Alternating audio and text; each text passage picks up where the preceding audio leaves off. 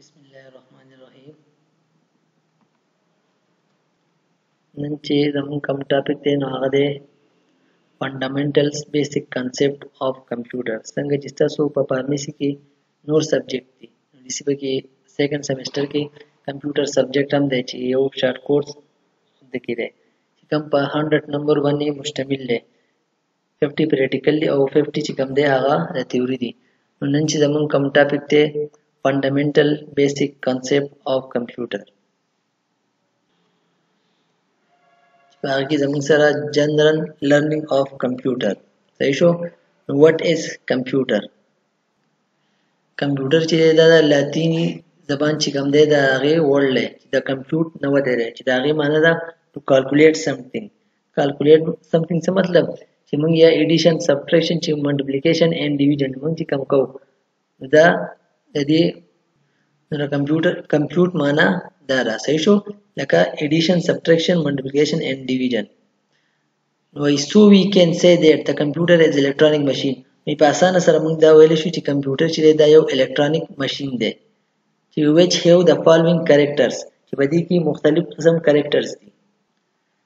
راولنې ده ایکسپټ ډیټا ان د فارم اف انپوټ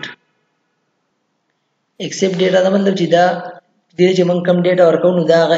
ایکسپټ کوي صحیح شو انپوټ کم څه چې مونږ کمپیوټر له ورکو نو دې ته انپوټ وایي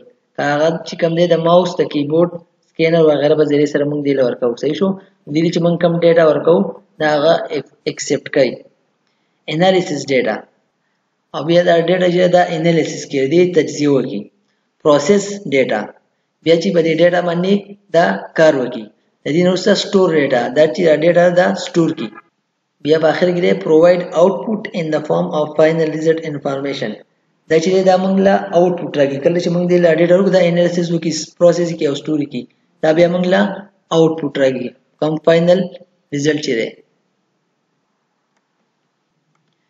د دې نه وروسته زموږ سره راځي هارډویر اینډ سافټویر اوس هارډویر او سافټویر څه شی دی هارډویر د فزیکل پارټس اف د کمپیوټر ار کال هارډویر د یوزر کین سی اینډ ټچ د هارډویر کیبورډ اینډ ماوس ار ټو ایگزامپل اف هارډویر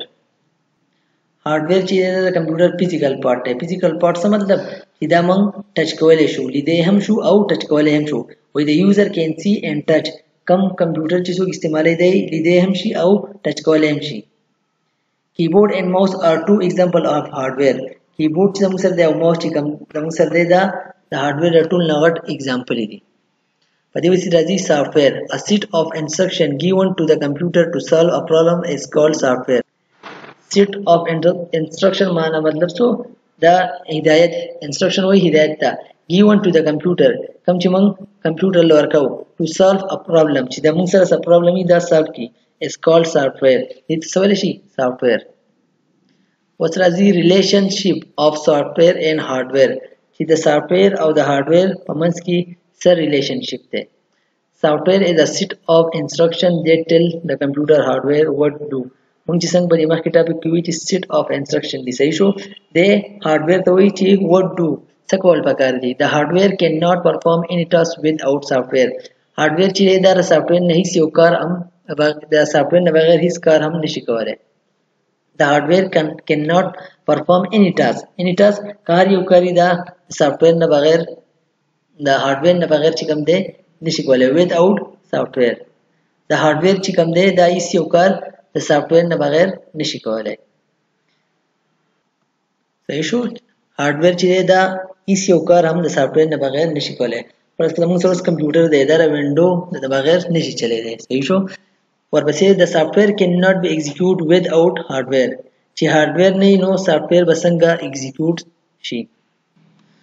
څنګه چې هارډویر چې دا له سافټویر نه بغیر کار نشي کولی ځکه سافټویر چې دا د هارډویر نه بغیر نشي چلیدای سافټویر کین ناټ بی ایگزیکیوټ دا نشي ایگزیکیوټ دا نشي چلیدای وداوټ هارډویر د هارډویر نه بغیر چې هارډویر نه یو سافټویر به څنګه کار وکړي صحیح شو ا کمپیوټر بیکم یوزفل وین هارډویر اینډ سافټویر ار کمباین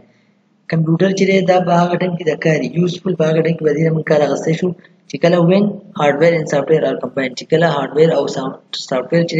دا کمباین شي صحیح شو دا یو یو ځای شي ورپسې چې موږ سره ډیټا ان انفارمیشن ډیټا A collection of raw facts and figure is called data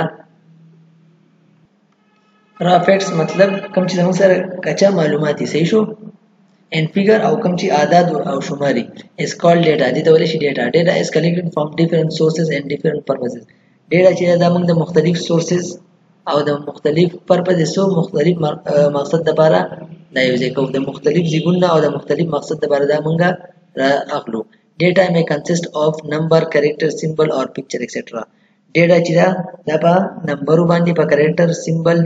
یا په پکچر باندې دی باندې مشتملي په دې وسیله ورپسې انفارمیشن د پروسس ډیټا از کالډ انفارمیشن هغه ډیټا چې هغه پروسس شي هغه باندې هغه کله هغه باندې کار شي دي ته ویل شي انفارمیشن انفارمیشن از ان از ان ارګنایز ان پروسس فارم اف ډیټا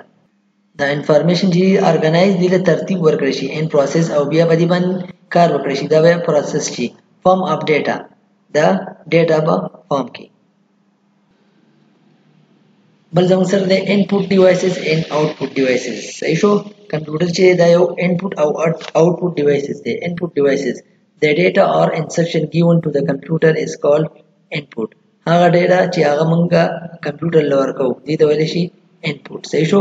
انپوټ مونږ د څه په ذریعه سره کوو ماوس کیبورډ سکینر مایکروفون ډیجیټل کیمرا اینډ ټچ پیډ اور انپوټ ډیوایسز کوم چې مونږ سره انپوټ ډیوایسز دي صحیح شو ماوس ته کیبورډ ته دې په ذریعه سره مونږ ډیټا ورکو سکینر کله چې مونږ ډیمسی یا نوټس یا تصویر سکین کوو دا چې کله مونږ سکین کوو دا بیا کمپیوټر ته لږی دا انپوټ ډیوایسز مایکروفون